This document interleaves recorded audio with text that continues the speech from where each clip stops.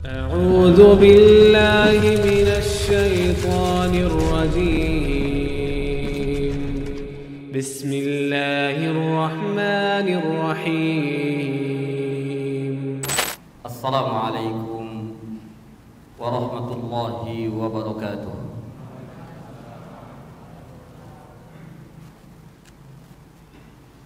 الحمد لله والصلاة والسلام على رسول الله وعلى آله وأصحابه ومن والاه. أشهد أن لا إله إلا الله وحده لا شريك له وأشهد أن محمدا عبده ورسوله لا نبي بعده. اللهم صل وسلم وبارك على نبينا محمد وعلى اله واصحابه ومن سار على نهجه إلى يوم الدين اما بعد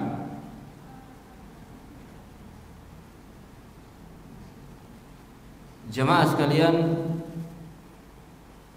yang dimuliakan Allah Subhanahu wa taala Malam ini di malam Ahad pertama di bulan Oktober kita membahas al-mulakhas fi syarh kitab tauhid. Ringkasan dalam syarah atau penjelasan kitab tauhid. Karya Ma'ali Syekh Dr. Saleh bin Fauzan Al-Fauzan hafizahullah taala dan terakhir kita masuk pada bab yang baru sebagaimana yang dikatakan oleh Syekhul Islam Muhammad ibn Abdul Wahhab bin Sulaiman At-Tamimi rahimahullah taala babu qaulillahi ta'ala innama dzalikumus syaitanu يخوف أولياءه فلا wa khafuni in kuntum mu'minin. Surat Ali Imran ayat 175 Babu qawlihi ta'ala. Qawlillahi ta'ala. Bab firman Allah ta'ala. Ini sepertinya Syekh mencontoh cara peletakan bab dari Al-Imamul Muhaddith atau Amirul Mukminin fil Hadith Al-Imam Al-Bukhari. Kalau antum melihat atau pernah membaca kitab Sahih Bukhari banyak sekali di sana al-Imam meletakkan bab dengan tema atau judul langsung dari ayat dan menyebutkan ayat. Babu qaulillahi ta'ala. Bab qauluhu ta'ala demikian. Ya. Ini bukan berarti muallif bingung muallif tidak tahu apa yang harus diletakkan bab tersebut bukan ya maksudnya adalah karena di dalamnya ada permasalahan-permasalahan yang kompleks yang tidak bisa diletakkan satu persatu di dalamnya. Namun muallif fokus pada satu masalah yang ada di dalam ayat tersebut. Ya. Kemudian yang kedua membuka peluang bagi para pembaca untuk bisa memahami lebih dari apa yang diletakkan oleh muallif. Lebih dari apa yang diletakkan oleh muallif karena di sana masalahnya kompleks, tidak hanya satu. Ya, tidak hanya satu. Memancing pembaca untuk membuka cakrawala pemahamannya untuk bisa memahami ayat dengan baik dan benar. Jadi ini termasuk cara atau sunnahnya Imam Al-Bukhari di dalam meletakkan bab dan diikuti oleh Syekh. Babu qaulillahi ta'ala, langsung ayat. Padahal kalau kita ingin menelaah kembali lebih dalam, ternyata Syekh ingin membahas tentang sifat al-khawf. Syekh atau penulis ingin membahas tentang sifat al-khawf. Apa al-khawf? Takut. Di mana al-khawf minat tauhid. Sifat khawf ini termasuk dari pembahasan at-tauhid. Karena khauf min amal qalb. Khauf itu min amali al-qalb. Termasuk amalan hati. Amalan hati dan termasuk bentuk dari peribadatan kepada Allah Azza wa Jalla. Yang bila dipalingkan kepada selain Allah maka pelakunya terjebak ke dalam kesyirikan. Pelakunya terjebak ke dalam kesyirikan. Ini uh, perlu diperhatikan. Ya.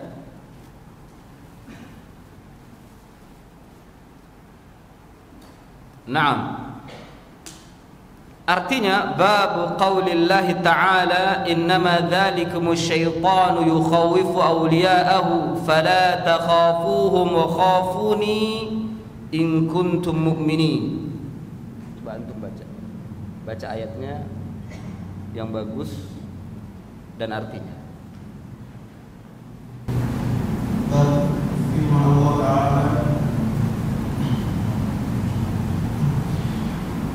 إنما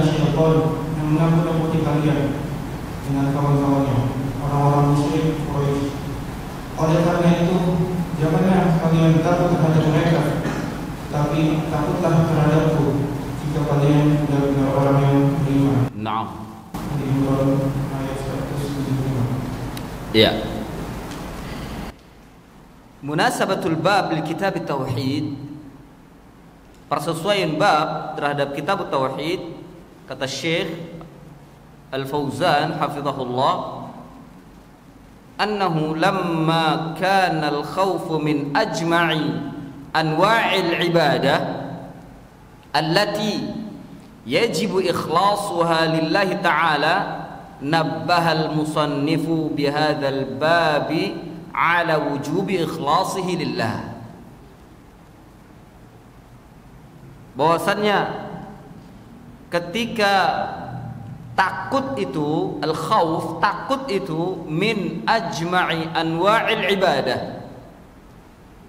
Termasuk ajma yang paling uh, kompleks ya.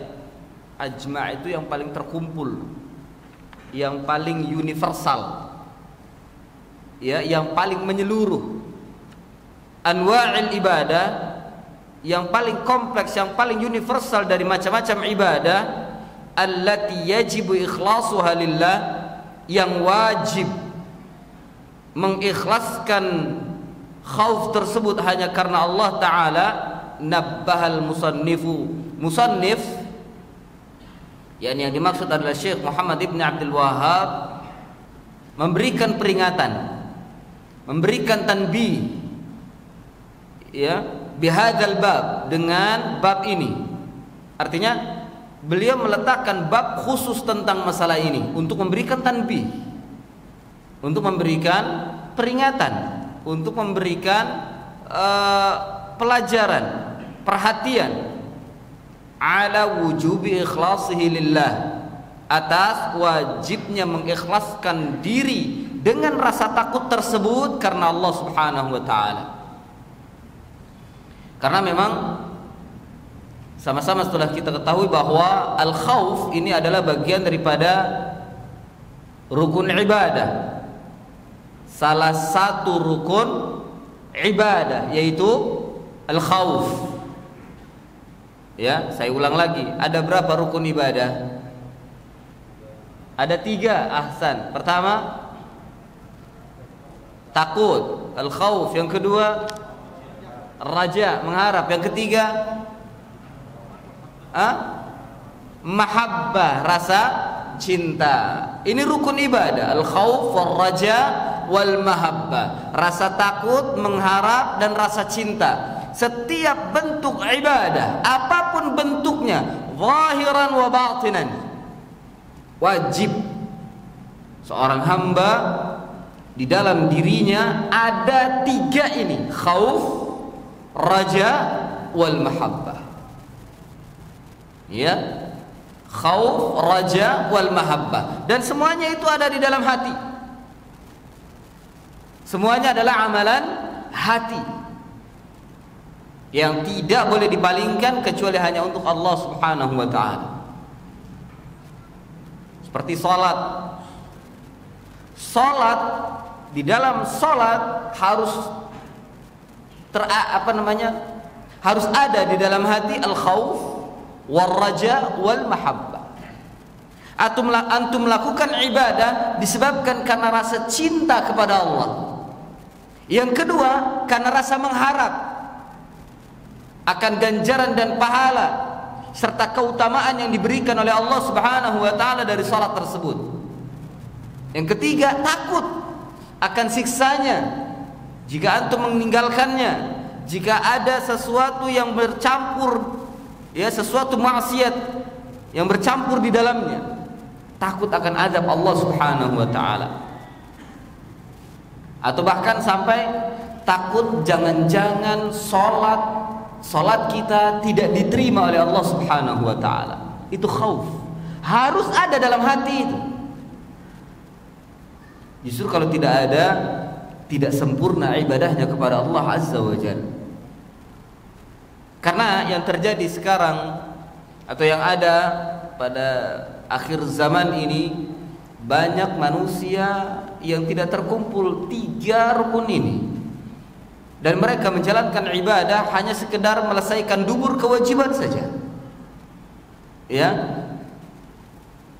Ketika selesai sholat, ah yang kan saya sudah sholat. Masalah diterima atau enggak ya terserah Allah.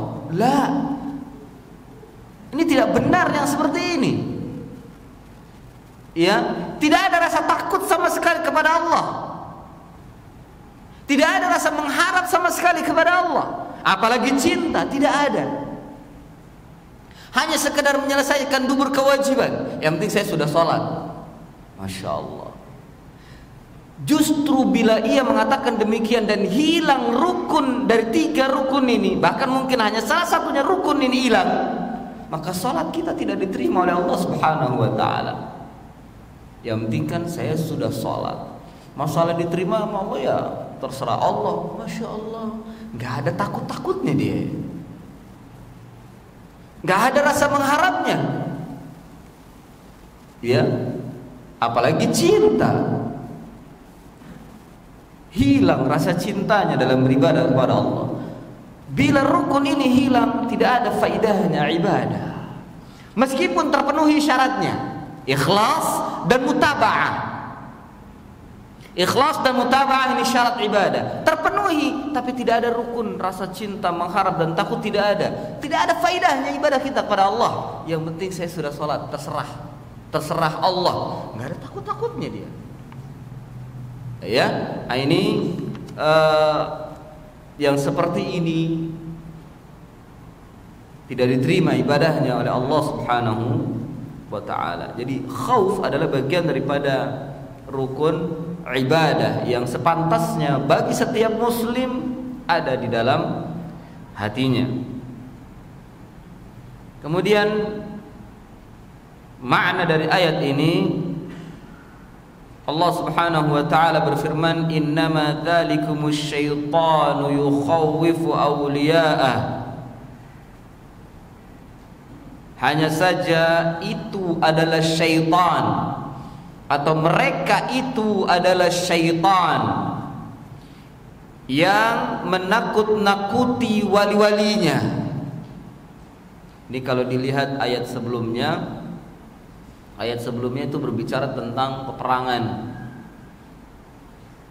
Ya Peperangan Yang kaum munafikun mereka menakut-nakuti orang-orang yang beriman. Takutlah kepada mereka, mereka itu banyak. Tidak terhitung jumlahnya, kalian sedikit. Jangan macam-macam kalian, habis nanti kalian ditakut-takuti. Itu syaitan dari kalangan manusia, belum dari kalangan jin dibisiki telinganya, diberikan ketakutan di dalam hatinya. Dan memang demikian sifat syaitan itu menakut-nakuti. Menakut-nakuti orang-orang yang beriman. Ya, itu syaitan. Nah, ini diperhatikan, jangan menakut-nakuti. Justru berilah keteguhan kepada kaum muslimin. Ya, Berilah keteguhan pada kaum muslimin dan kesabaran. Jangan ditakut-takuti. Dan memang nggak boleh kita menakut-nakuti kaum muslimin. Tidak boleh kita menakut-nakuti kaum muslimin. Karena menakut-nakuti itu sifat syaitan. Fala takhafuhum. Allah Subhanahu wa taala melarang Jangan kalian menakut-nakuti mereka atau janganlah kalian takut kepada mereka. yakni kepada orang-orang munafikun itu yang nakut-nakutin. Ya, yang menakut-nakuti orang-orang yang beriman karena kalimat aulia di sini wali-wali Allah adalah orang-orang yang beriman dan bertakwa kepada Allah. Mana dalil yang menunjukkan bahwasannya Wali-wali Allah adalah orang-orang yang beriman dan bertakwa. Dalam surat Yunus sudah pernah kita bahas. Ya. Innama awliya Allah la khaufun alaihim wa lahum yahzanun.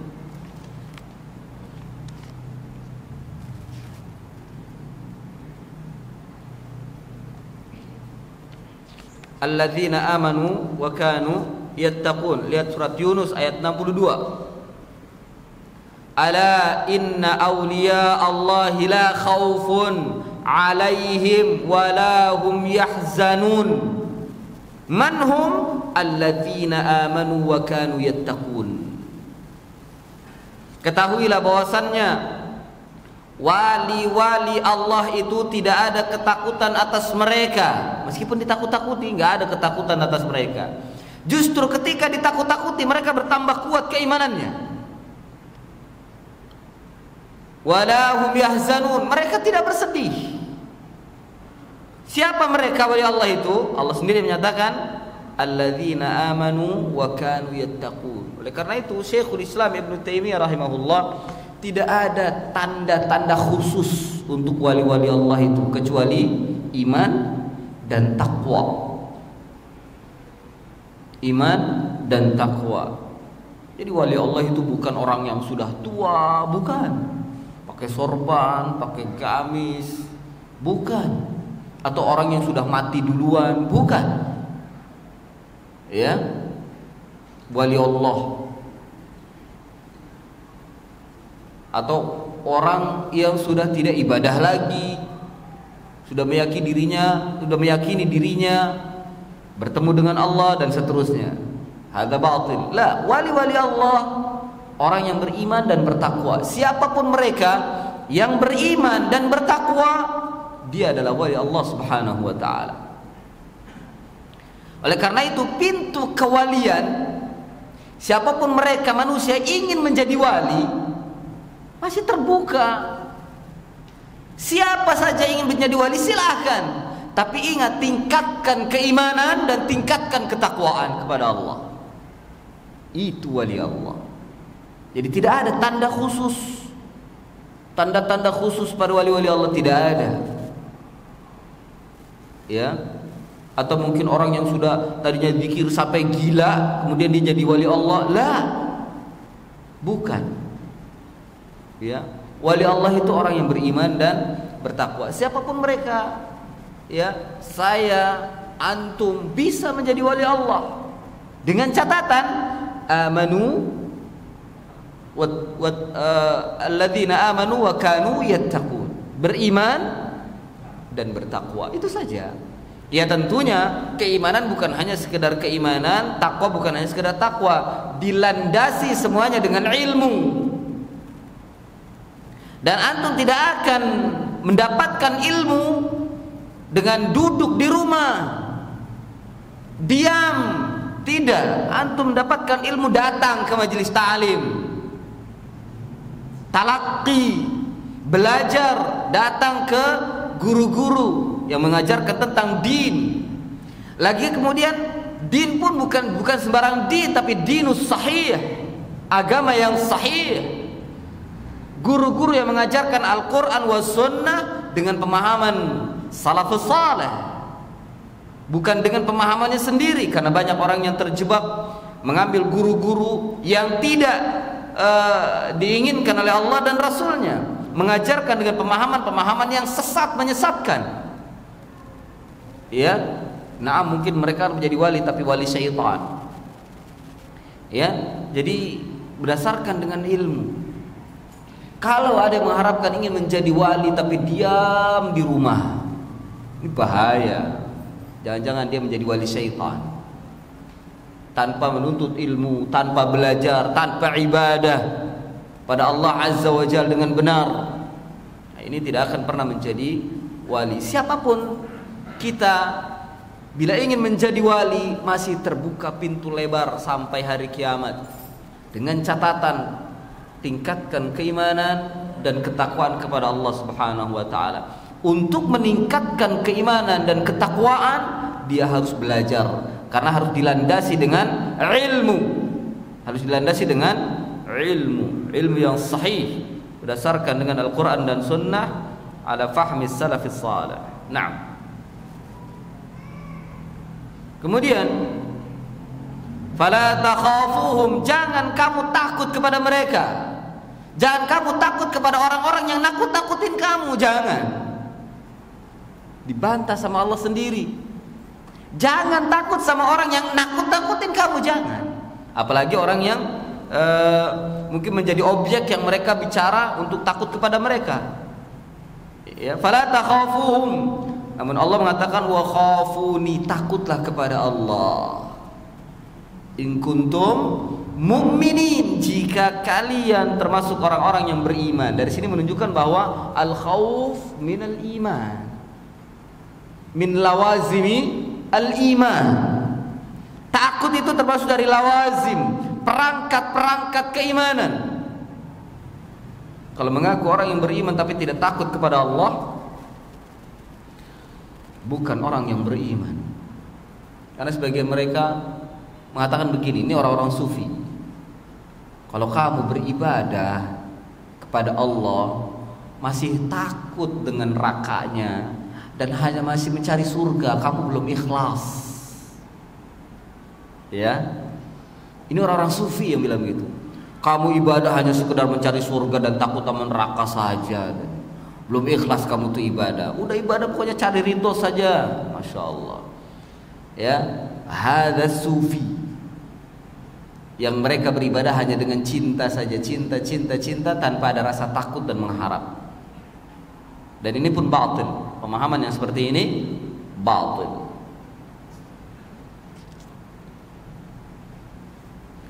Fala takhafuhum khafuni in kuntum mu'minin. Lianna al-imana kata Syekh Shalal Fauzan, lianna al-imana yaqtadhi an tu'athiru khawfallahi ala khawfin nas.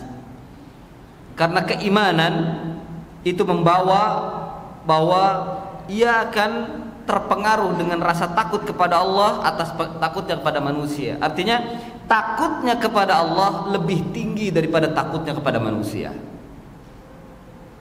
ya takutnya kepada Allah lebih tinggi daripada takutnya kepada manusia dengan keimanan. Jadi orang-orang yang beriman itu takutnya hanya kepada Allah Subhanahu wa taala. Kemudian ikhwani fillah Allah wa iyyakum kita baca makna ijmali, makna al-ijmali lil ayah sebagaimana yang dituturkan oleh Syekh Saleh Al-Fauzan hafizahullah taala.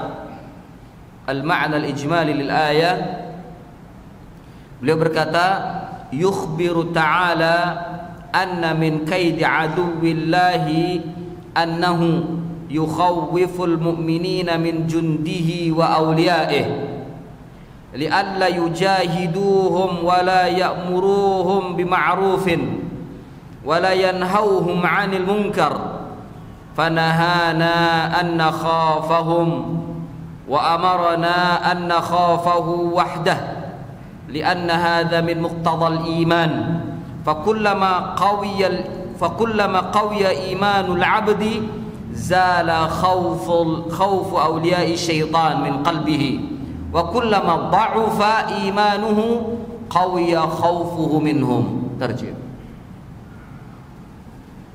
Maknanya secara mudah Allah Ta'ala mengabarkan bahwa termasuk dimudahnya syaitan adalah menakut-nakuti kaum mukminin dengan tentara dan pengikut-pengikutnya supaya para orang beriman tidak berjihad melawan mereka tidak memerintahkan mereka kepada kebaikan dan tidak melarang mereka dari kemungkaran Allah telah melarang kita untuk takut terhadap mereka dan memerintahkan agar kita hanya takut kepadanya. Karena hal itu merupakan konsekuensi keimanan maka semakin kuat keimanan seorang akan hilang rasa ketakutan terhadap wali-wali syaitan dari hatinya. Akan tetapi setiap kali keimanannya lemah maka akan semakin kuat ketakutannya terhadap mereka yaitu wali-wali syaitan Naam. Jadi dengan keimanan ya iman dengan takut ini saling menguatkan bertambah kuat keimanannya bertambah takut kepada Allah dan tidak takut kepada syaitan sebaliknya bertambah lemah keimanannya maka semakin takut kepada syaitan atau kepada wali-walinya dan semakin tidak takut kepada Allah Subhanahu wa taala. Kullama dha'afa imanu qawiya khaufuhu minhum. Setiap lemah keimanannya maka bertambah takut tak apa bertambah kuat ketakutannya kepada syaitan. Bertambah kuat ketakutannya kepada syaitan. Dari sini kita bisa menakar Ketika kita takut kepada selain Allah, ketika kita takut kepada syaitan, maka jangan-jangan keimanan kita sedang lemah. Antum lebih takut kepada syaitan ketimbang Allah. Jangan-jangan keimanannya lebih uh, keimanannya sedang lemah. Karena orang yang kuat keimanannya dia lebih takut kepada Allah ketimbang kepada syaitan. Ya, dan juga wali-walinya, wali-wali syaitan. Wali-wali syaitan seperti dukun, paranormal, tukang sihir dan lain-lain. Ya. Antum lebih takut pada mereka berarti keimanannya lemah kepada Allah Subhanahu wa taala. Takut kepada kuburan, takut kepada pohon, takut kepada batu. Ini kan ada seperti itu. Eh, jangan jangan jalan di situ itu pohon keramat. Kamu harus permisi. ya harus permisi atau melakukan ini dan itu bahaya nanti kualat lebih takut daripada pohon ketimbang kepada Allah Azza wa Jal maka keimanannya sedang lemah naudzubillah kalau sampai kufur kepada Allah Subhanahu wa taala. Lebih takut kepada batu. Eh jangan jangan macam dengan batu jangan macam-macam dengan batu itu. Kamu macam-macam dengan batu itu kamu akan kualat bisa mati kamu nanti. Takut kepada batu. Keimanannya sedang? Lemah. Ini banyak, banyak yang seperti itu. Orang-orang musyrikin menakut-nakuti kepada orang-orang yang beriman dengan makhluk-makhluk Allah yang sama sekali tidak bisa memberikan manfaat dan mudarat. Disuruh takut kepada pohon, disuruh takut kepada batu, disuruh takut kepada kuburan, disuruh takut kepada danau, telaga dan lain sebagainya. Padahal semua itu makhluk Allah. Bahkan dengan Allah itu mereka tidak ada takut-takutnya. Ya. Bahkan dengan Allah itu mereka menantang. Mereka menantang dengan Allah Subhanahu wa taala. Nauzubillah. Ya, jangan salahkan ketika mereka takut kepada makhluk dan mereka melakukan peribadatan kepada makhluk bukan hilang musibah malah bertambah besar musibah malah datang bencana dan bala dari Allah Azza wa Jalla. Jangan salahkan siapa-siapa. Ya. Seperti datangnya wabah, penyakit, bukan takut kepada Allah, malah dia bikin sesaji. Potong sembelih kepala kerbau, kepala kambing dialirkan ke sungai. Lebih takut pada sungai ketimbang kepada Allah Azza wa Jalla lebih takut kepada laut ketimbang kepada Allah Azza wa Jalla atau mungkin kepada pohon kepada batu. Lebih takut pada itu ketimbang kepada Allah Azza wa Jalla ya berarti keimanan sedang lemah keimanan sedang lemah kullama dha'afa imanu qawiya khawfuhu minhum ketika lemah keimanannya maka akan bertambah takut ah, bertambah kuat ketakutan kepada syaitan. Naam, ma yustafadu minal ayah? Apa yang bisa diambil faedah dari ayat? Yang pertama, annal khaufa ibadatun yajibu ikhlasuhu lillah. Bahwasanya khauf, takut itu adalah ibadah. Wajib mengikhlaskan diri hanya untuk Allah Azza wa Jalla. Ya, makanya hati-hati dengan rasa takut ya ikhwah. Ya, sudah ada pembahasan dari para ulama bahwa takut terbagi menjadi dua, takut tabi'iyah, yang kedua takut ibadah. Kalau takut tabi'iyah ini tidak ternilai ibadah, tidak terhitung sebagai dosa, tidak terhitung sebagai uh, keimanan, kecuali tabi'iyah ini sudah meningkat. Ya gulu melampaui batas, bahasa kita lebay melampaui batas, maka akan berpindah takut yang tabi'i menjadi takut ibadah. Ya. Seperti antum takut kepada macan, ya, tabi'i biasa. Ya tabi'i. Atau takut kepada api, kebakaran, takut kepada listrik, takut kesetrum, tabi'i. Biasa. Ini tidak menafikan rasa takutnya kepada Allah Azza wa Jalla. Tapi tadi contohnya takut kepada batu, padahal batu cuma seonggok batu, ya, yang mungkin di pinggirannya banyak sesaji dan mengatakan ini batu keramat dan lain sebagainya. Antum takut dengan batu itu, ini yang dikatakan takut syirik yang membawa kepada kesyirikan atau takut kepada pohon, gunung. Ya, sekarang itu yang ditakuti oleh manusia gunung itu gunung Merapi. Ya, takut kepada gunung, ini takut yang membawa kepada kesyirikan karena takut yang seperti ini adalah takut ibadah.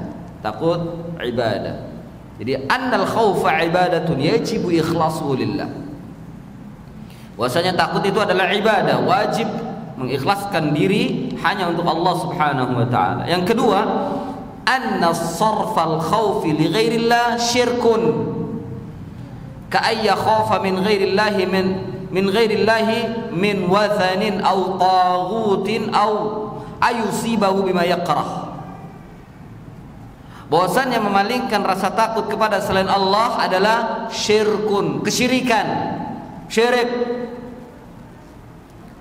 Ya, seperti takut kepada selain Allah dari berhala min wathanin ya. Takut kepada berhala au tagutin atau tagut.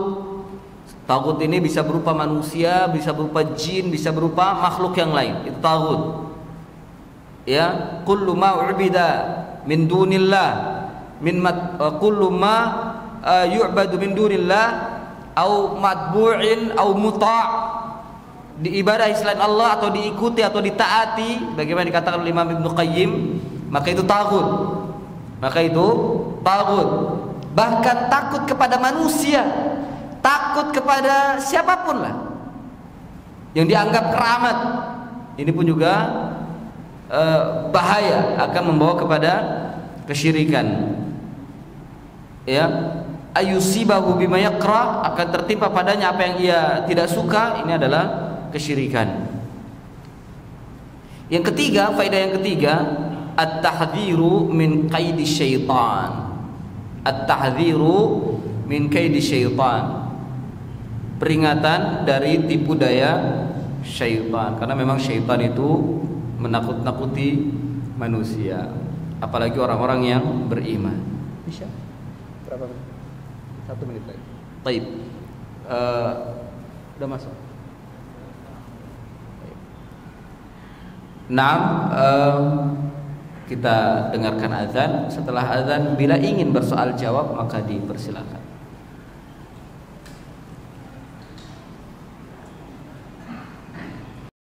Nah, ada soal apa? Angkat tangan enggak? Iya, Pak, silakan.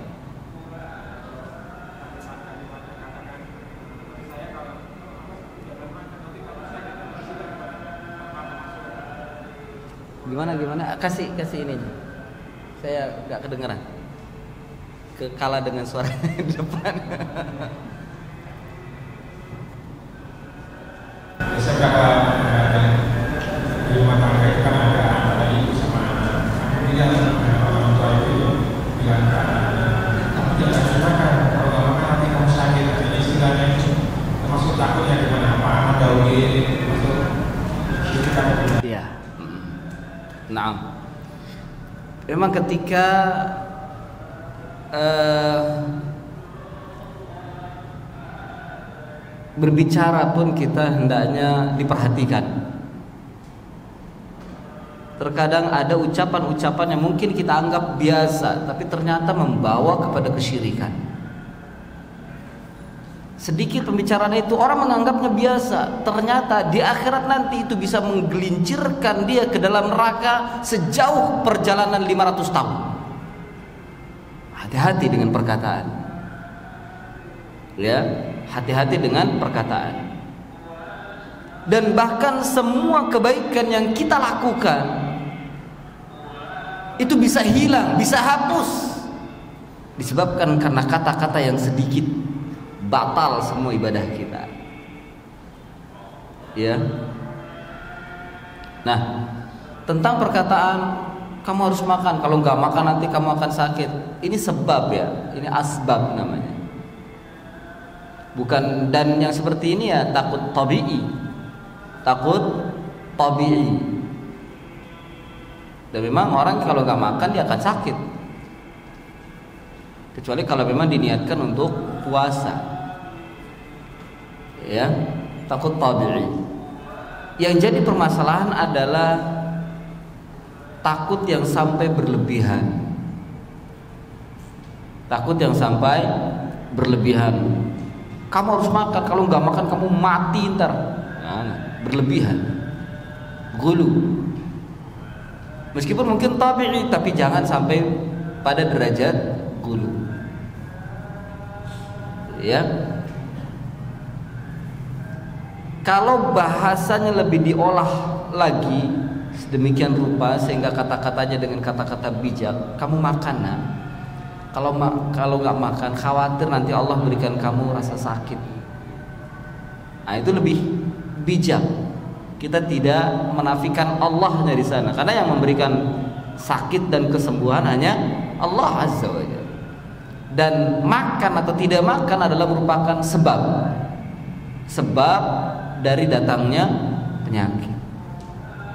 Nah, wallahu a'lam bishawab. Ada lagi? Iya. Kasih. Biar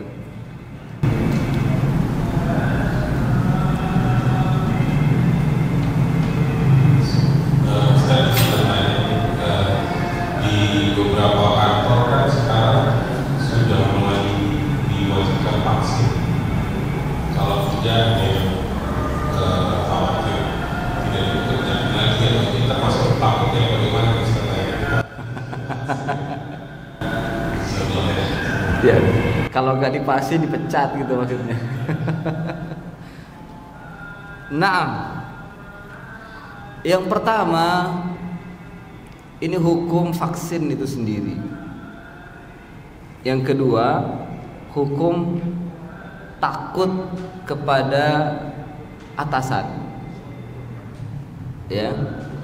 Yang pertama, vaksin itu sendiri, hukum vaksin itu sendiri boleh. Apalagi belakangan sudah ada informasi bahwa vaksin itu halal, boleh. Dan vaksin itu obat. Ya, obat. Adapun lagi-lagi banyak orang nakut-nakuti. Jangan vaksin nanti kamu mati. Itu tahu ini kena ayat tadi. Ya, kena ayat tadi wa minan nasi eh, apa? Mana tadi ayatnya? Eh, ada sebagian mereka menakut-nakuti. Padahal halal. Vaksin itu halal. Obat. Fi manzilati dawa.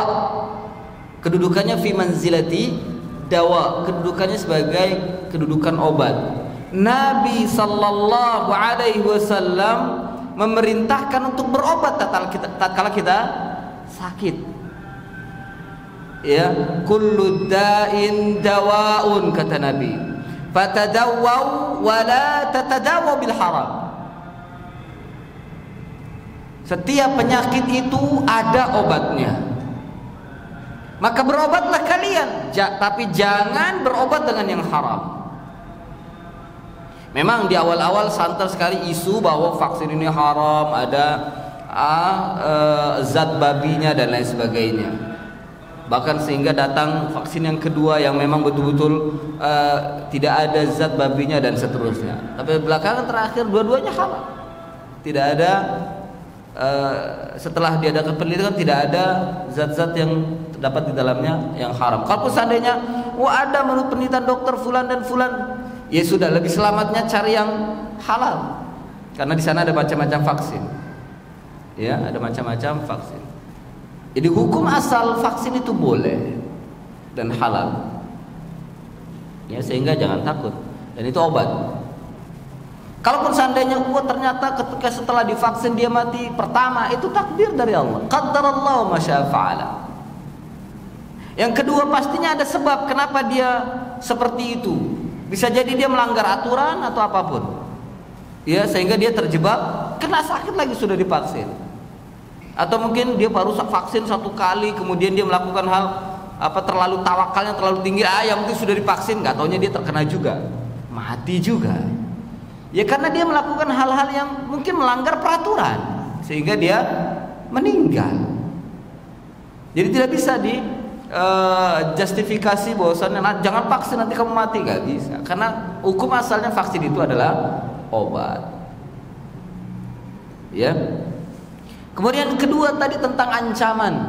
Kalau nggak divaksin kamu keluar. Eh, itu ancaman eh, apa agar dia berobat. Ya. Ya ketakutannya juga jangan berlebihan. Ketakutannya nggak jangan berlebihan karena memang rizki itu datangnya dari Allah Azza wa Jalla. Allah yang memberikan rizki kepada manusia. Bahkan Allah juga memberikan kepada perusahaan itu. Allah yang memberikan rizki kepada bos antum juga itu ya. Jadi yang memberikan rizki itu Allah subhanahu wa ta'ala. Dan masing-masing manusia tidak tertukar rizkinya. Ya. Namun ketika atas memerintahkan suatu perintah yang tidak bertentangan dengan syariat maka sebaiknya ditaati. Sebaiknya ditaati. Nah perintah untuk vaksin vaksin ini uh, bertentangan dengan syariat atau tidak? Al-jawab, la tidak. Maka sebaiknya ditaati. Ya, ditaati. Kecuali kalau atasannya memerintahkan kepada sesuatu yang bertentangan dengan agama atau bertentangan dengan syariat baru fala ta'ata fiha tidak ada ketaatan di dalamnya kemudian kalau seandainya dia mengancam untuk tidak bekerja itu lagi ya silakan silakan pecat saya. Saya tidak ingin uh, melakukan perintah anda yang bertentangan dengan syariat. Gitu. Karena rezeki itu milik Allah. Seperti itu kira-kira. Wallahu alam bisawab. Dapat gak jawabannya? Dapat. Baik. Iya, ikhwani fillah azani Allah wa iyyakum. Demikian kajian kita di malam hari ini. Mudah-mudahan ada manfaat. Wa sallallahu ala nabiyyina Muhammadin wa ala alihi wa sahbihi wa barik wasallam. Subhanakallahumma wa bihamdik asyhadu an la ilaha illa anta astaghfiruka wa atubu ilaik. Wa akhiru da'wana anil hamdulillahi rabbil alamin. Wassalamu alaikum warahmatullahi wabarakatuh.